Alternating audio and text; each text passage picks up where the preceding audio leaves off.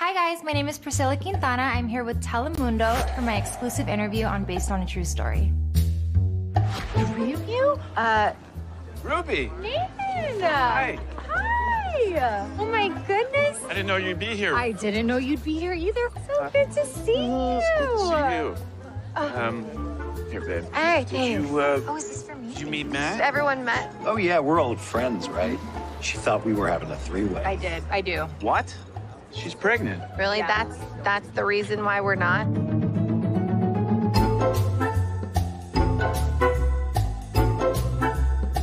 I would say that we both kind of gravitate towards being the life of the party, bringing people together. We know how to have a great time, and we're both definitely obsessed with true crime. That did not happen for me after the show. I have been obsessed. So, yeah, I mean, this this job was a dream come true because of that.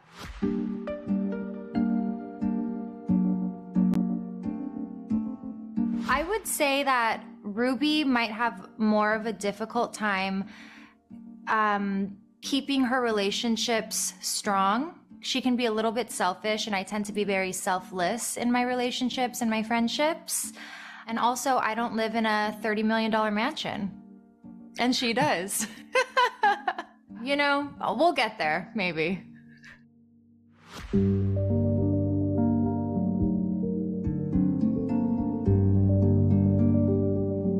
Oh my goodness, that's such a good question. I would say, you know what? Besides being obsessed with true crime, I'm also obsessed with the ocean. I love learning about everything under the ocean.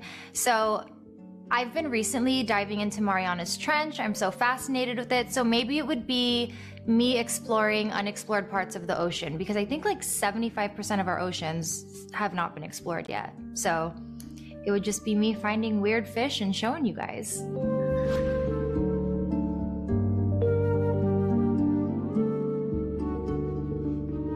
On a scale of 1 to 10 at solving mysteries, I'm a solid 9.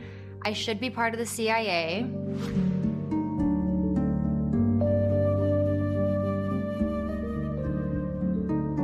You know, I've listened to enough crime podcasts that I know not like what not to do, but to be honest, I cannot even kill a spider in the house. I, you know, if there's even like an annoying fly, I'm like, oh, you'll be dead in three days. Like, just keep flying around. So I wouldn't be able to commit one, let alone get away with one, but I could solve one 1000%.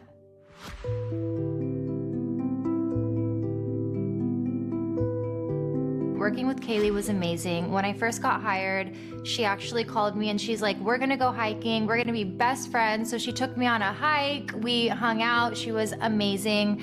And yeah, she kind of acted as a big sister in a sense because she has so much experience.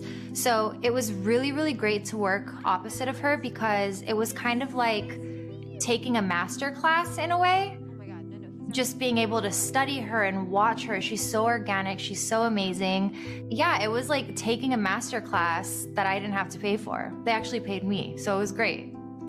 Best case scenario